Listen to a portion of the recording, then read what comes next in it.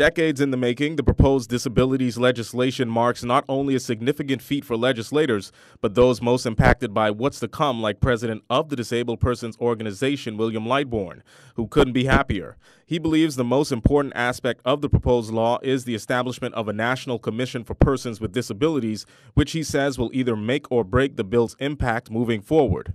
The work of the Commission is going to determine whether or not this legislation will impact the citizens of this country, particularly those with disabilities. So we, we depend, we will depend on, on the work of the Commission to really ensure the implementation and the monitoring of all what is to happen and to ensure the regulations are put in place so that persons with disabilities can, can move forward and to embracing all of the opportunities that will make this country a truly inclusive society for all.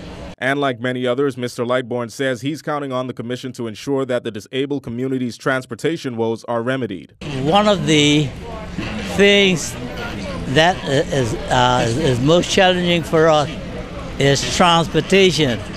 And again, uh, we would uh, depend on the commission to ensure that the policies and regulations are put in place so that transportation could become affordable, available, and accessible to all persons with disabilities. No person with disability should be denied, denied transportation.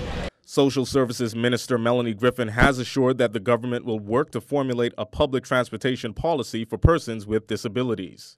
Nico Scavella, JCN News.